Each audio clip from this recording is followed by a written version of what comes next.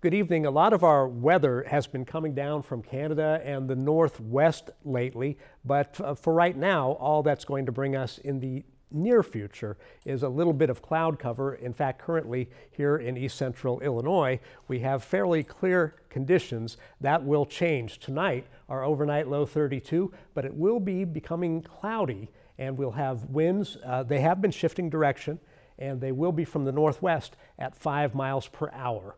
Our forecast for tomorrow, a high of only 48. It'll be mostly sunny, yes, a little bit warmer, but not as warm as it would have been without northwest winds. Now, let's talk more specifically about the timing of the winds. The direction from the northwest at 7 a.m.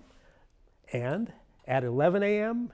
And then in the afternoon, more northwestern winds. In fact, the gusts picking up at times and more northwestern winds. In fact, uh, switching up a little bit and coming directly from the north by tomorrow evening. That'll keep it cool in the hours ahead.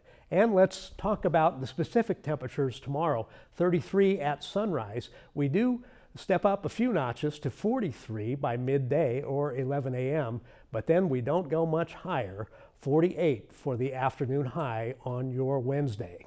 Our weekday outlook for the rest of the week after that 48, we're going to have a high of only 47 on Thursday, partly sunny, and then clouds move in. This will be interesting. It may be temperature dependent. We know a low pressure system is on the way. Possible light rain or or snow, maybe. We'll see. Stephen will give you more uh, accurate details a little closer to that date, especially beginning with tomorrow's uh, nightcap, or I'm sorry, news watch at 5:30. Now, after that possible snow event on Friday, we come to Saturday. It's going to get cold. A high pressure system moves in, sunshine, but only 26 degrees for the afternoon high.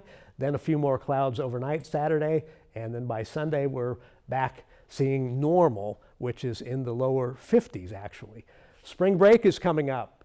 Saturday, the first kind of official day of spring break for EIU students, they'll be greeted by this uh, trough of air coming down from the north northwest. That'll make it very cold on Saturday, as we've explained, a high only in the middle 20s. But the good news is things will change. And this is a ridge of air coming up from the south. As you can see, it's popping up over Illinois. And for those of you who are spring breakers, Look at that nice golden color down there on the, the coast of Texas, a little bit of Alabama, and yes, you've got it in Florida.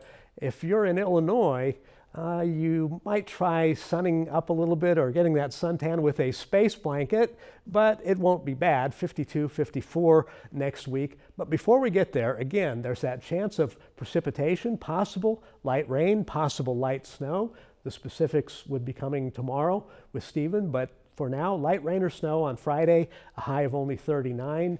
Saturday, very cold. But before then, tomorrow and uh, Thursday, twin highs only in the upper 40s. The overnight lows, um, rather cold for this time of year, but we will reach normal sooner or later. Back to the news desk.